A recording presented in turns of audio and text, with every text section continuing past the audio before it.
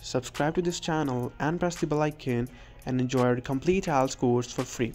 You can also join our WhatsApp broadcast or Telegram group. The link is pinned in comment section as well as in video description. So what are you waiting for? Subscribe and join now.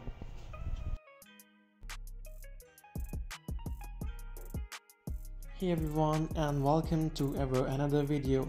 This video is all about the latest or the updated IELTS exam marking criteria which you guys should know before taking your IELTS exam. So what it actually is, let's get started. So I want to tell you guys that uh, in 2020 they have started the on-screen marking. On-screen marking that means that जो आपके listening and reading की जो sheets होती हैं and you attempt your IELTS listening, reading and writing exam with the pencil, right?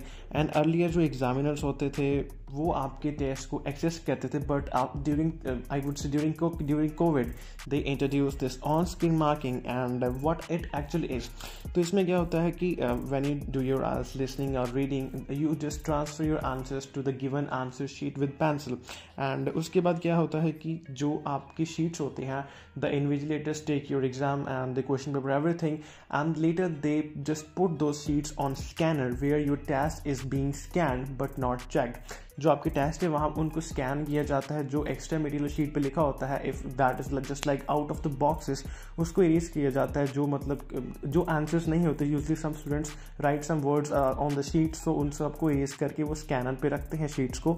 and they directly send to the Cambridge and वहाँ क्या होता है आपके जो एग्ज़ाम है उनको चेक किया जाता है and they are not check by the computer they are not computerize that the answers are just like the they enter the answer in a computer and it will check it's not the, your exam is accessed and marked by the markers markers are actually i can say I can, they are people but they are not the examiners markers के पास answer की होती है that this is the listening answer and reading answer so they just check your answer with the answer key and uh, उनके पास क्या होता है कि जो एग्ज़ाम स्कैन हुआ होता है वो उनके पास जाता है. They don't get the hard copy right so sometime you have return some other word but कुछ ऐसा होता है कि वो उस इतना डार्क नहीं देख पाता. And sometime they read it wrong and if they read it wrong just like you return R A T but you just did a spelling mistake और that is just visible I can see very less visible बहुत कम दिख रहा है and there read it something else so they will just cross your answer and आपका जो आंसर है वो रॉन्ग हो जाएगा.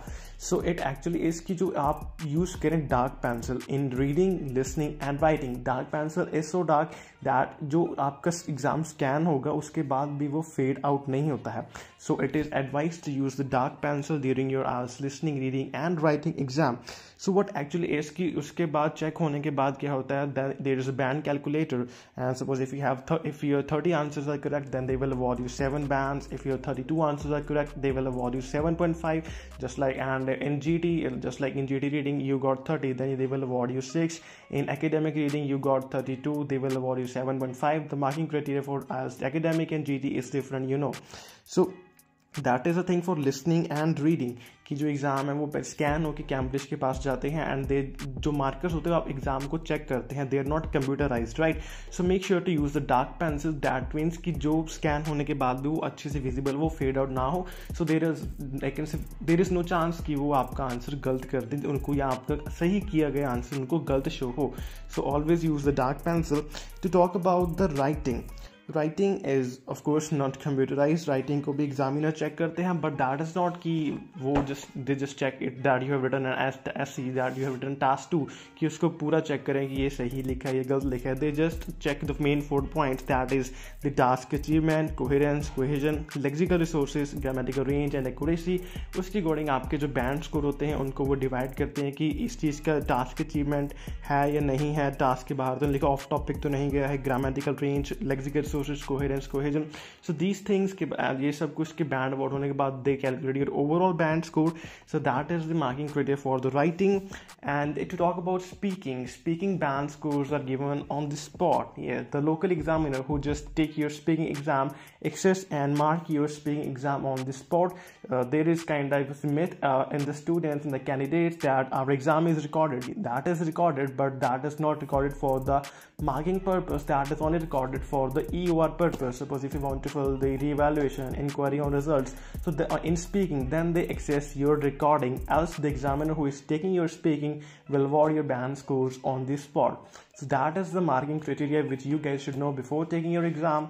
That was all about it. Make sure to hit the subscribe button press the bell icon. We teach IELTS online for free. And share complete I would say IELTS stuff including the all IELTS test reviews including speaking writing listening and reading which are happening all over the world. And it's completely free to subscribe. And if you have any doubts don't forget to ask that in comment section. We will try best to help you guys out. Take care. Goodbye. Peace out